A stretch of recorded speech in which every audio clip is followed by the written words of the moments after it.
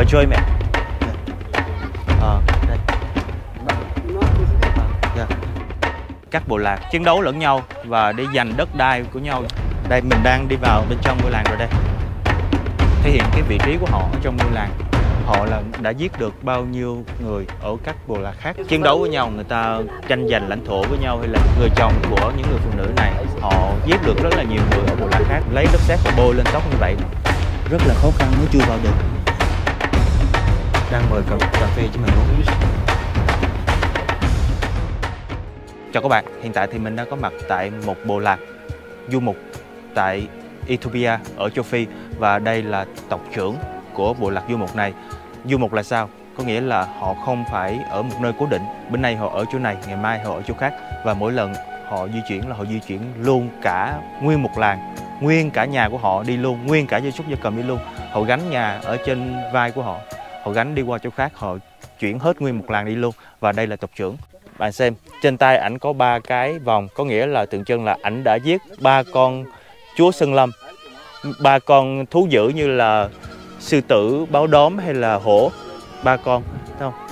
Họ luôn đánh dấu những cái chiến tích của họ như vậy. Và trên người anh tộc trưởng này cũng có những cái vết sẹo như vậy.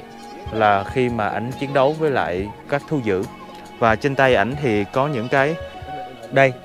Cái đây là trên tay ảnh là một cái giống như vật bất ly thân. Họ cầm như thế này. Bạn biết để làm gì không? Khi mà họ họ mệt khi mà họ ngủ thì họ có thể dùng cái này để họ gối đầu. Dùng cái này để gối đầu như thế này.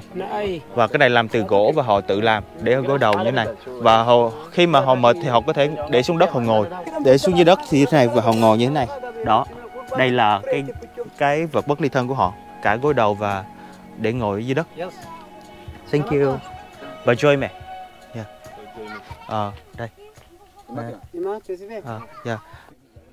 Đây là công cụ của người ta để người ta phòng thân và cái này là người ta có thể vừa làm việc được mà vừa để làm vũ khí được vì xung quanh đây toàn là thú dữ ở châu phi là người ta sống chung với lại thú dữ luôn nên là bạn thấy mình review rất là nhiều ngôi làng và những ngôi làng người ta đều cầm súng tại vì người ta vừa bảo vệ bộ lạc của người ta khỏi bộ lạc khác và vừa bảo vệ bộ lạc người ta khỏi thú dữ. Ở đây rất là nhiều thú dữ và người ta sống chung nha. Pajome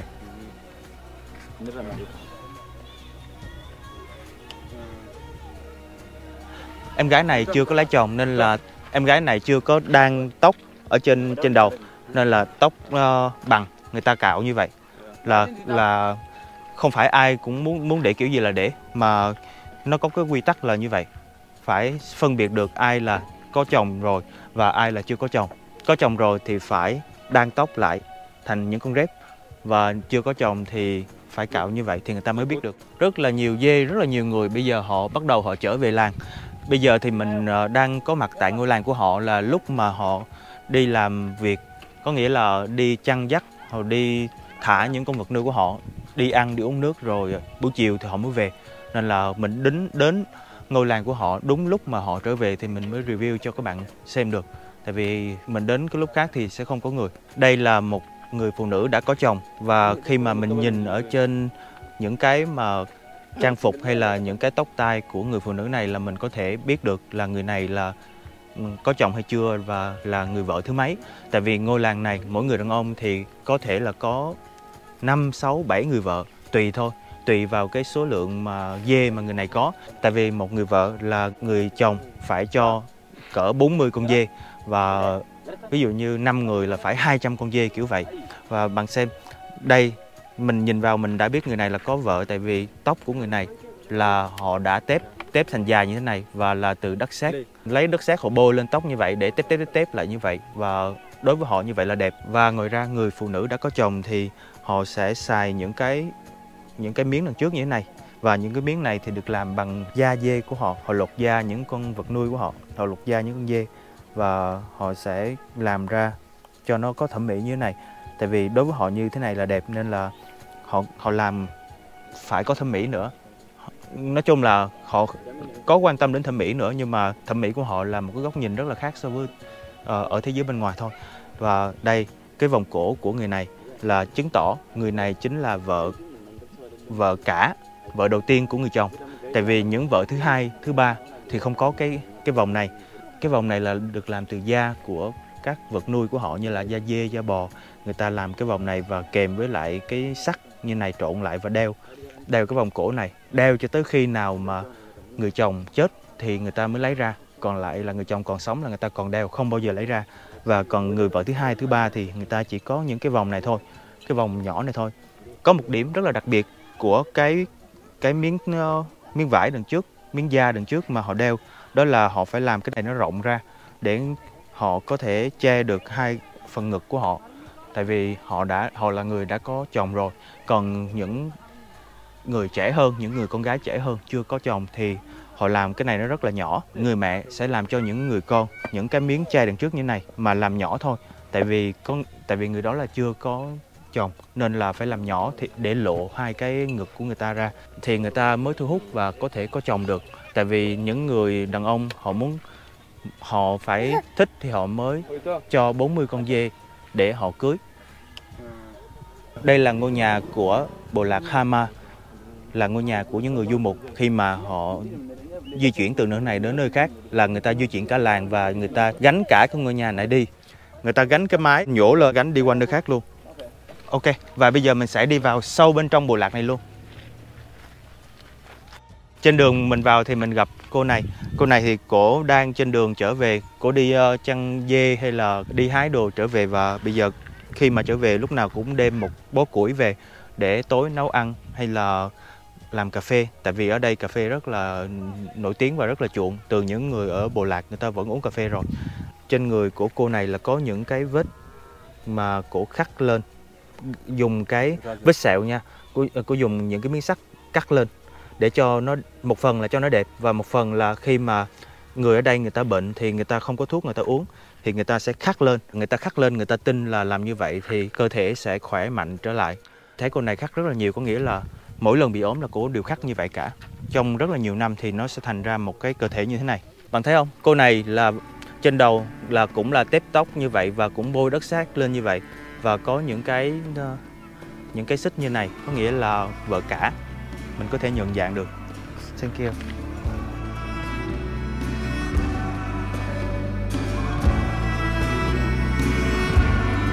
Trời xem cả nó đây nè? Đẹp mê luôn.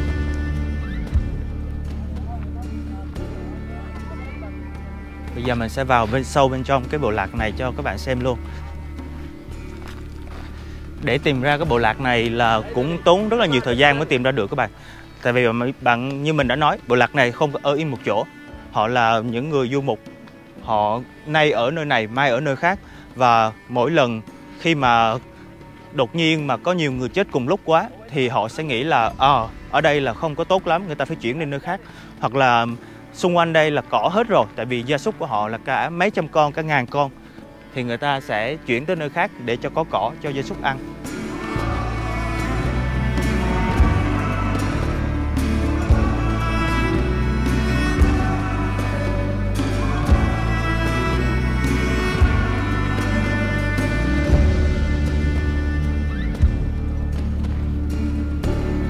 Đây, mình đang đi vào bên trong ngôi làng rồi đây.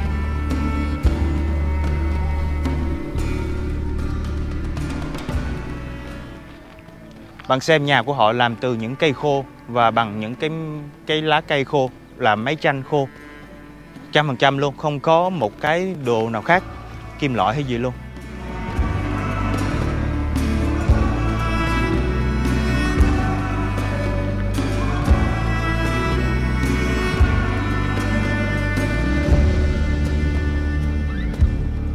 Bộ lạc này ở chỗ quá trời đẹp luôn, Y như trong phim hoạt hình vậy.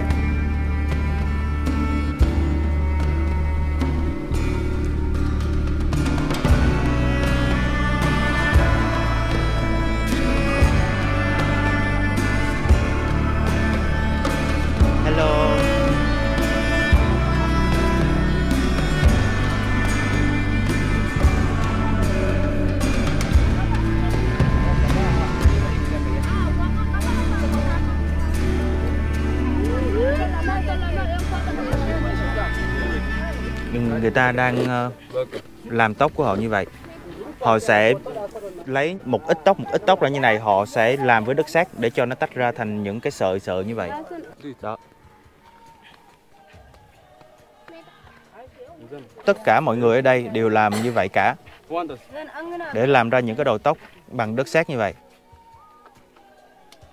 Đây là chỉ có bộ lạc của người Hama mới làm như vậy thôi mỗi bộ lạc thì sẽ có những đặc điểm rất là khác nhau và cách sống rất là khác nhau.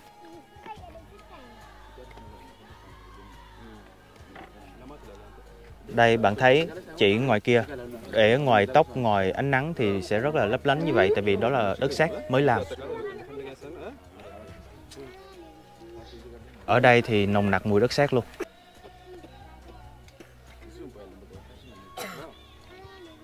Như mình đã nói thì ở đây là um, chị này cũng là vợ cả và chị này cũng là vợ cả luôn. Tại vì đeo cái miếng sắt ở cổ như vậy cái miếng sắt mà có cái lòi ra như vậy đó là vợ cả. Hầu như mọi người ở đây là vợ cả. Tại vì điều này nó còn phụ thuộc vào người đàn ông đó có nhiều dê hay không. Có 40 50 con thì cưới một người thôi và 100 con thì mới cưới hai người kiểu vậy nên là cũng khó để có được nhiều vợ. Nhưng mà nhiều người có nhiều dê thì vẫn cưới được nhiều vợ. Đây là những cái vết mà uh, là những cái vết sẹo gọi là những cái hình xăm mà người ở đây họ khắc lên khi, mỗi khi mà họ bị ốm thì họ sẽ khắc lên như thế này. Ngoài ra thì những cái hình xăm ở trên người phụ nữ này, ở cái vị trí ở đằng sau lưng này thì còn thể hiện là đây là vợ của một người hùng. Khi mà các bộ lạc người ta chiến đấu với nhau người ta tranh giành lãnh thổ với nhau hay là tranh giành vật nuôi với nhau. Người chồng của những người phụ nữ này họ giết được rất là nhiều người ở bộ lạc khác và họ khắc những cái vết sẹo như thế này lên cái lưng của mình. Đầy luôn để thể hiện họ là những người anh hùng. Và vợ của những người anh hùng này cũng khắc lên như vậy luôn. Đó là vợ của những người anh hùng. Những cái vết sẹo này thì rất là to nha. Có nghĩa là họ khắc phải mình nghĩ thôi là cũng thấy rất là thốn rồi. Họ, họ khắc phải rất là sâu á mới ra được cái vết sẹo to như thế này. Đúng là rất là thốn. Nhưng mà có thể là những người ở bộ lạc này thì họ cũng quen rồi. Bạn, bạn thấy đây là các dân làng các thành viên của bộ lạc Hama này từ nhỏ tới lớn và họ sẽ không có mặc áo như vậy. Ai cũng sẽ có những cái mà để gối đầu và để ngồi như thế này. Đó là những cái mà họ, đồ mà họ tự sáng tác ra họ tự uh, uh, sáng tạo ra đây là một bạn chưa có chồng. Như vậy. Mấy em nhỏ đang ngồi nói chuyện với nhau kìa.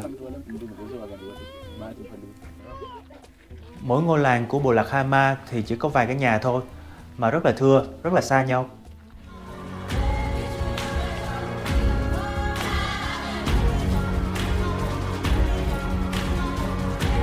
Đây là tay của mình. Khi mà mình chạm vào người của họ, là người của họ là toàn là đất sét thôi. Nên là khi mà mình chạm vào là dính đất sét liền và người của họ rất là ướt, toàn là đất sét thôi. Nên là đây là một cái rất là đặc biệt của ngôi làng này. Họ rất là thích làm những cái đất sét lên cái đầu của họ, thành một cái mũ như vậy. Mà cái mũ ngang đầu làm đất sét tép vào tóc của họ như vậy, đối với họ như vậy mới là đẹp, mới là người dân của bộ lạc Hama. Bây giờ để mình thử vào nhà họ xem thử nhà của người bộ lạc Hama là như thế nào.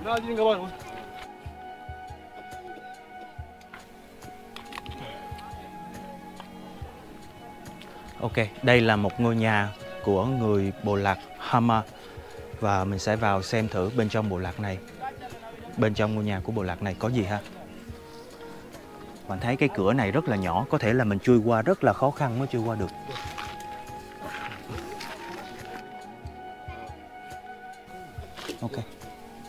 Rất là khó khăn mới chui vào được.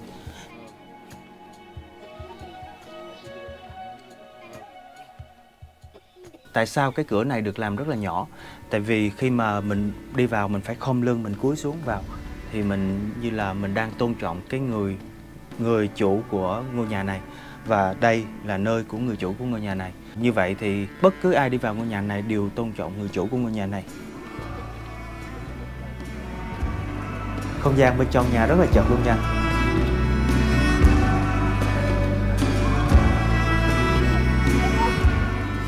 Đây là giường của họ, họ sẽ lót bằng những miếng da của con vật nuôi họ như là da dê, da bò. Họ sẽ lót để họ nằm ở dưới đây. Đây là da của một con bò rất là lớn. Ở đây. Và cái nền của họ rất là chắc nha. Wow họ làm bằng đất sét rất là chắc. Cái nền nè chắc cực luôn wow, giống như là nền xi măng luôn các bạn. Tại vì họ làm bằng, ở đây là chuyên, họ làm đất sét. Và trong này thì họ có bếp lửa nữa. Nó hơi nóng á, hơi nóng mỗi ngày nên là đất sét nó cứng ngắt luôn, như là gạch đó các bạn. Gạch thì cũng làm từ đất sét thôi. Và cái nền này thì cực kỳ cứng luôn. Đây là mình đang ngồi. Hai. Đây mình đang ngồi với lại một chị ở trong ngôi nhà của chị. Mình vào trong nhà mình review cho các bạn xem có cái gì luôn ở trên trần này thì ờ, là sẽ là những cái nơi mà người ta chứa thức ăn của người ta. Người ta sẽ để cái cái đây là giống như là cái trần nhà cái miếng la phong của mình á. và ở đây thì người ta lắc củi như thế này và người ta để thức ăn trên đó rất là nhiều. Cái này rất là rộng. À, đây là có những cái trang phục của người ta mỗi ngày đây. Họ treo ở đây. Trang phục của người ta thì chỉ có vài cái thôi tại vì họ cần làm là bằng da dê. Họ làm theo những cái kiểu mà họ thích và mỗi người thì chỉ có một cái hai cái là cùng thôi. Tại vì da động vật thì đâu có hỏng đâu và uh, kiểu thì cũng không có nhiều kiểu nên là mỗi người thì chỉ có một hai cái là cùng thôi. Còn người ta thì người ta cũng không có ngại là chuyện bẩn đâu càng bẩn đối với người ta là càng đẹp. Vì uh, càng bẩn thì càng giống như là đất sét và càng đẹp. Ở cái bộ lạc này là tất cả mọi thứ về cái thẩm mỹ của người ta thì bạn thấy liên quan tới đất sét cả đây là cái nồi mà người dân ở bộ lạc Hama này làm bằng đất sét và hiện tại thì chị này đang nấu cà phê Wow, chị này đang mời cho đang mời cà, cà phê cho mình uống. Đây.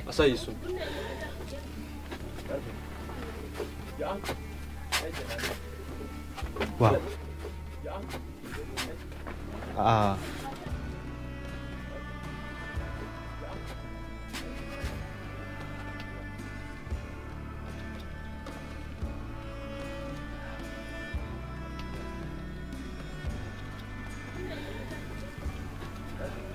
Này là vỏ của cà phê. Người ta nấu bằng vỏ cà phê, người ta không phải là nấu bằng cái hạt cà phê giống như là của mình. Đây, họ sẽ nấu cái vỏ của cà phê thì nó ra một cái nước nó nhạt hơn rất là nhiều. Như thế này. Đó. Rất là thơm. Này rất là thơm nha. Rất là thơm. Very good.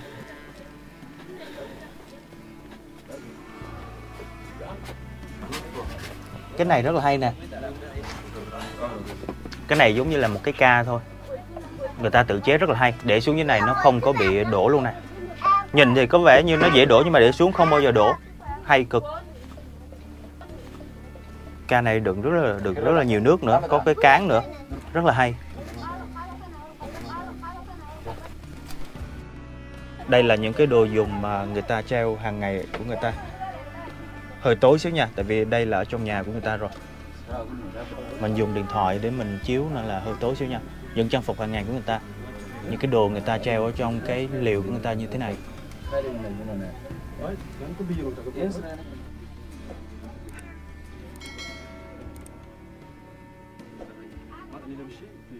Ngăn này thì người ta để củi nè, và người ta sẽ nấu ở dưới bếp này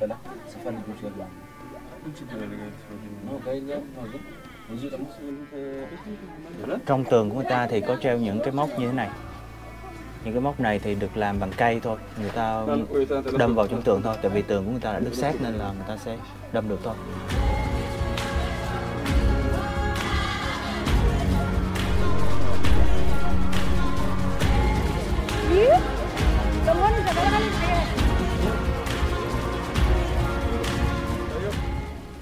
Họ có những cái chuồng rất là kiên cố cho đàn bò của họ. Và những cái chuồng như này chứa được khoảng hàng trăm con bò như thế này hoặc là hoặc là 200 con dê cũng ở trong cái chuồng này được. Rất là rộng và họ có rất là nhiều chuồng như thế này. Đây. chú này là một người rất là uh, mạnh mẽ và chú đã giết được rất là nhiều uh, động vật hoang dã mấy con thú dữ. Và nên là chú sẽ làm cái tóc của chú như thế này. Và đây là cái lông của những con thú dữ mà chú đã giết được chú sẽ bỏ vào trong súng của chú như thế này. Đó. Và đây là tóc của chú chú sẽ làm những cái mà màu trắng như này và gắn cái lông của con lông vũ của con con chim. Chim này là chim gì mình quên cái tên rồi nhưng mà con chim rất là lớn. Chú sẽ lấy chú gắn lên đầu chú như vậy. Và đây là những cái mà chú thể hiện là chú đã đã giết được rất là nhiều thú dữ ở, ở trên cái đầu của chú như vậy. Như bạn thấy là mọi họa tiết của họ đều có một cái ý nghĩa thể hiện cái vị trí của họ ở trong ngôi làng thể hiện họ là người à, có gia đình hay chưa và thể hiện là họ là người săn bắn như thế nào họ là đã giết được bao nhiêu người ở các bộ lạc khác. Đây là những viên đạn của súng. Thì chú này số số đêm chú đeo như thế này. Và lúc nào chú cũng cầm súng tại vì bạn biết sao không?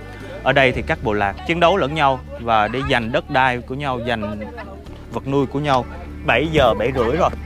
À, bây giờ mình phải đi về thôi, tại đây rất là tối, rất là nguy hiểm. Và ở đây chỉ xài luật của bộ lạc thôi, không xài luật nào khác. Và họ có súng thì chả biết cái chuyện gì có thể xảy ra. Ở đây có rất là nhiều bộ lạc khác nhau, không chỉ là bộ lạc này. Nên là tốt nhất là bây giờ mình sẽ phải đi về thôi. Hẹn gặp lại các bạn trong video review tiếp theo